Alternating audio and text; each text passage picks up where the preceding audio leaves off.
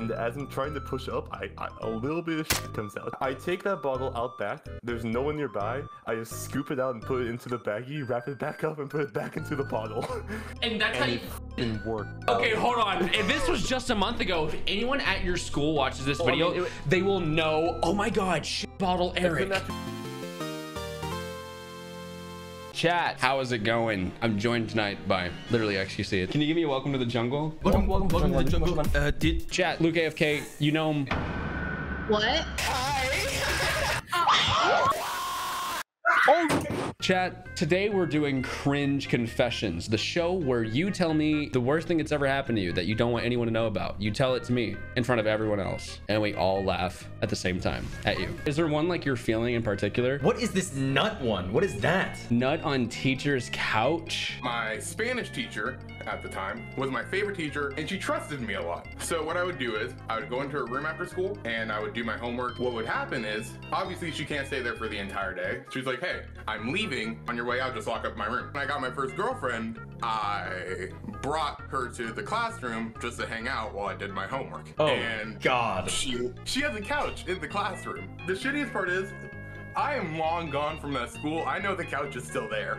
Uh, the couch is still there. I didn't nut on the couch, but I nutted on the couch. Oh, okay. So this is one of those clickbait titles. I nutted while I was on the Oh. couch. But I Hmm. think the shittiest part was think of like the most ninth grader way to nut, and that's what happened.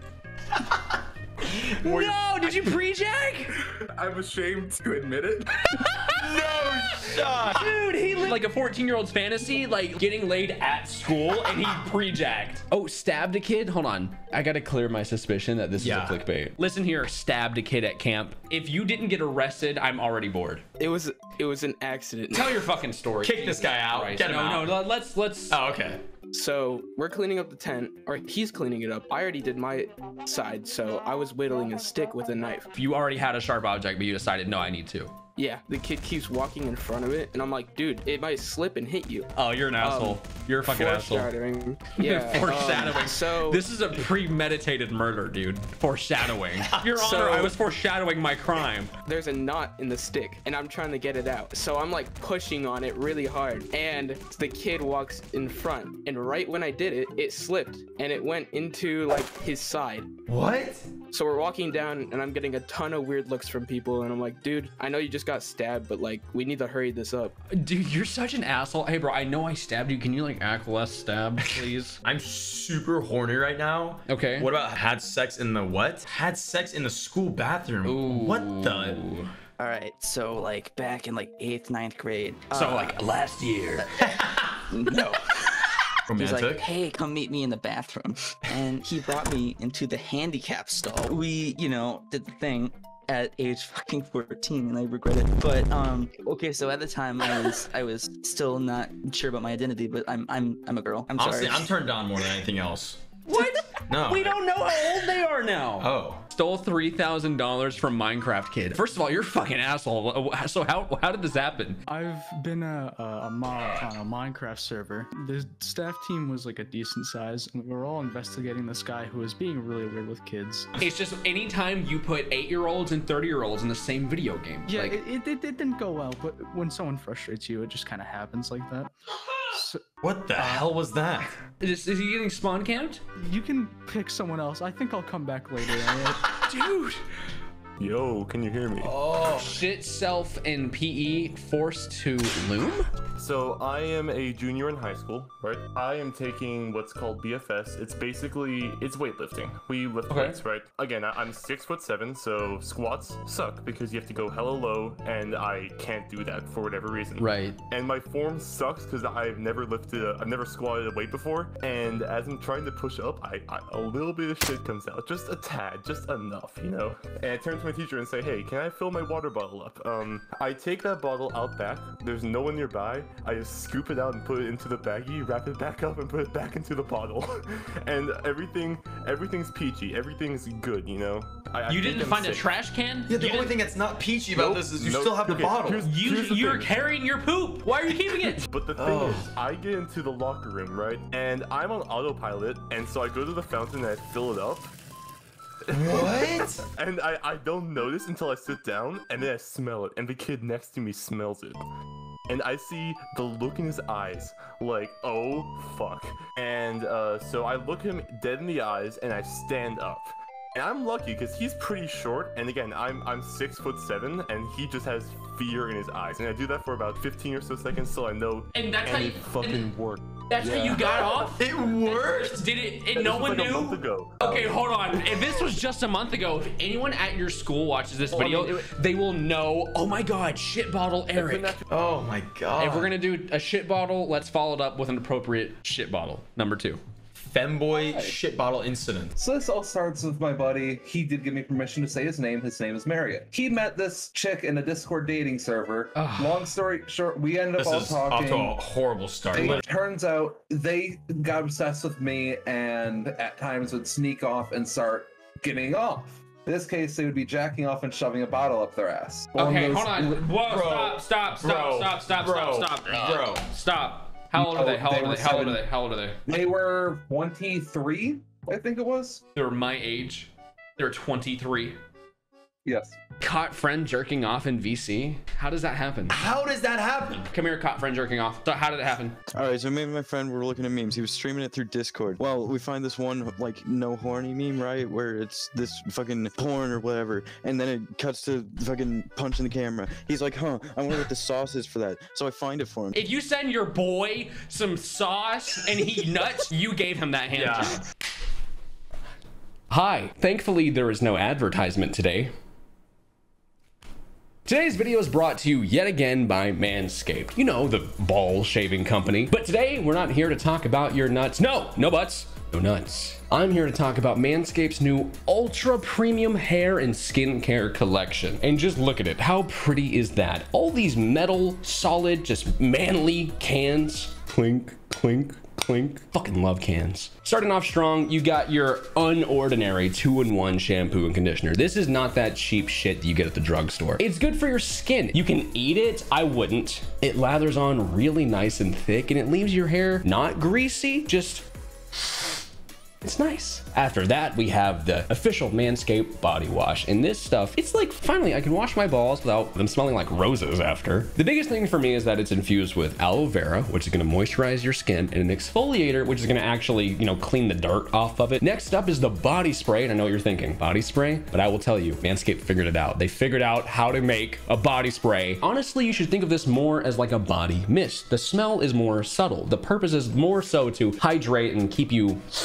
fresh. Can't forget this nice little can of deodorant they give you. Now it's a clear gel deodorant and it has that nice scent of citrus. What is that? Sandback jasmine? Ooh. Vetiver? Manscaped finished the bundle off with Manscaped official lip balm because there's nothing manlier than having soft, supple lips. And I'm not joking. All of this stuff is paraben, gluten, and cruelty free. But the whole purpose here is just make body maintenance a little bit easier. Man maintenance. Man-tenance. Thank you, Manscaped, for covering me from head to toe. And that sounds weird. You put it in the script. I didn't write that. If you like any of this stuff and you want to check it out, head on over to manscaped.com and use code WEEST to get 20% off your order plus free international shipping. Click that link in the description. Thank you, Manscaped. And uh, enjoy the rest of the video. What is this? What is shit glove? J Glove, invite to speak. When I was like 16, I went to rehab because I, I was abusing drugs. So me and this other kid were like sitting on the couch, and John John comes through the bathroom, and we were like talking about like how you can get high off of huffing your own shit. Fucking And John John Jenko. heard. So he comes back like 20 minutes later. He's like, "Yo," and he peeps through the bathroom. He's like, "Yo, come here." So we go in the bathroom. We're like, "What?" And he's like, "Yo, I got a glove." And we're like, "What are you gonna do with the glove?" And he's like, "Y'all already know what I'm gonna do with the Fuck no. Fuck, Fuck no. yeah, shit in the glove. I'm not shitting in the glove. It's not my glove. That does not affect me. Shit in the glove. I want to see it. So so we, we give him like pointers on how to do it because he's like confused on how to do it. You were shit coaching? Were you backseat We were like, shitting? just- so I'm like, just leave it outside, like put it underneath like a bush, because we live in Florida. It's gonna ferment really fast, and it was in the summer. The thing about John John is that he got in a fight before he could huff it. Basically, before I got discharged, I remember like looking all over the property, and we could not find that glove. Because he got kicked out after that fight. That glove is still on the property somewhere. Oh my god, this just reminds me Of there- Jacob. I, I have a shit glove downstairs right now in the garage. I, No, you do not. I took the dogs for a walk like t- three weeks ago, and I picked up one of their turds in like the bag. I wrapped it up, airtight and everything, and I sat it on the ground. And I remember putting a box next to it, and it hid itself behind the box, and it's still down there right now. You're telling me we have show it, go Jankum on the property? This, I'm sorry, officer. It's for personal use. what is this? Pissed on my what? Pissed on my PC, medical reason. To a bit of backstory, I'm trans, and when I turned 16, the doctors told me, okay, you can go on uh, HRT now, or you can come in a jar and This is this for is for most 20 years. this is most of my viewers, by the way. They sent me home with uh, a jar to come in. I, I, I, I got set up, and I was, you know, I was, I was doing my thing, and then it, I felt something. I'm like, oh, I released it, and it wasn't cum. Um, it was actually uh, pee pee, and it went on my floor, and a little bit of it computer. You're like, here it is, here it comes. Step two. Kidnapped and pushed off cliff. Do I believe that? Were you actually kidnapped by real kidnappers? Please, just let me get there first. Alrighty then. Me and my friends went to celebrate my birthday, so we went like right the way up to the top of Scotland, and it was getting really late at night, and we were drunk. We had a bit too much, and I was like, "Fuck, I need to go piss." Uh, so I went behind a bush, yeah, and this man or whoever they were came out behind me, grappled me. Basically, and like shoved his hand in my mouth so I couldn't make a noise and just kind of like yanked me away. Oh yeah, you were you were getting absolutely kidnapped. That is a kidnapping. This bitch ass put his whole ass like hand in me, like I, it was fucking manky. It was disgusting. And um, like how you can tell you only consume American media because you said bitch ass and manky, whatever the fuck that means.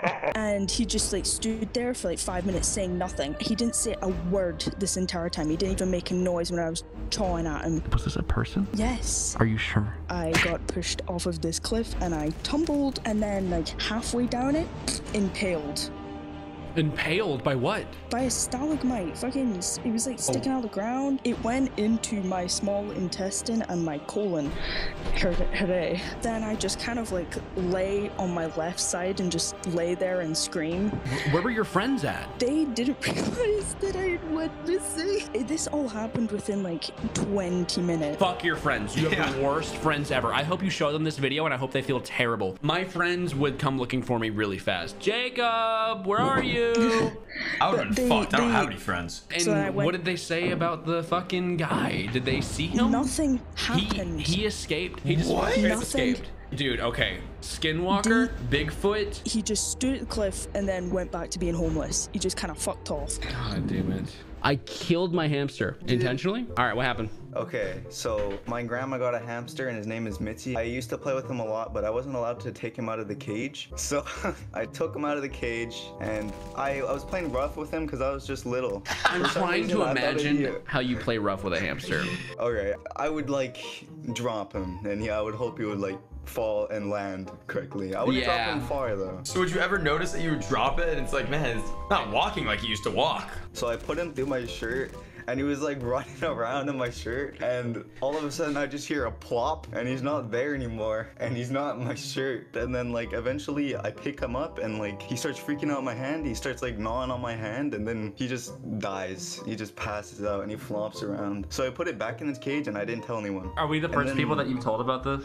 yes What? Oh, Wait, do you still have the hamster? No, it's dead. So, So, to recap, we're gonna have to full recap. Taj is not gonna go back and find the clip. Is, is he getting spawn camped? You can pick someone else. I think I'll come back later. So this guy pissed me off. Uh, I was a funny Minecraft mod. He invited me to help him win three thousand dollars. I ended up inviting over like a hundred people to do it for me, and I ended up winning that money. This guy, I feel, I just feel so bad for him. So we, if you have any recommendations for like a gift in the two hundred dollars range, let me You're taking literally a United States approach to race reparations with this fucking guy. Aunt and uncle are cousins. So yeah, the great grandparents they separated with two kids, created their own families, and this is all happening on my mom's side of the family. I don't know my dad's side of the family at all. I gotta draw a family tree real quick. Is that okay? You got grandma and grandpa right here. Yes, and, they had two kids. right Okay, here, A and B. So what happens and then next? Each of them gets separated and takes a kid. So mom's sister gets introduced to this guy. They start dating, and then they start having sex, and then eventually they accidentally get pregnant, and they're like, "Well, okay, I guess why not?" So they actually get married while they're pregnant.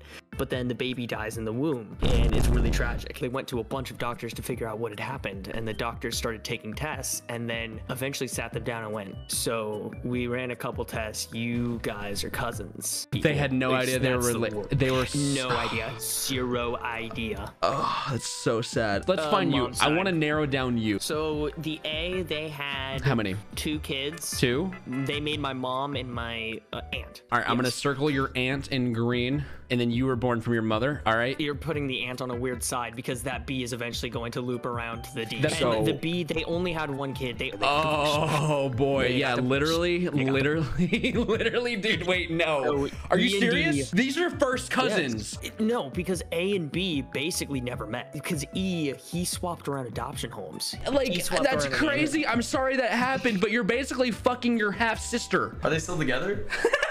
No, no, no, no. Oh. I thought there was gonna be a happy ending. Did enemy's brother? That's base. This takes place in about, mm, I want to say seventh grade. Not completely sure. Mhm. Around that timeline, you know. I know this kid since fourth grade. Don't like this kid. This occurred in the seventh grade. What? Dude. Yeah. Okay. Good. Dude, when Let's I when I no that. when I was in the fucking seventh grade, I was playing Fable 3 on the Xbox 360. It was it was one of my favorite games of all fucking time. It was a sequel to Fable 2. It wasn't as good as its predecessor. You were fucking in the seventh grade? I mean, what can I say? I don't know. What can you say? I didn't know how to fat back then. You should be ashamed of yourself because you seem proud of it now. It's funny because I still talk to him. Fatherless. Where's your dad at? I don't know.